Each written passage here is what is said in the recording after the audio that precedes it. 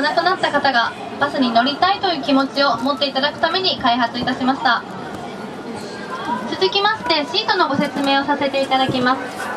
シートの脇にございますレバーの後方をお引きいただきますと背もたれが倒れます。えちょうど窓側のシートのもものあたりにレバーが2つございますので後ろ側のレバーを引きながら背もたれを倒していただきます。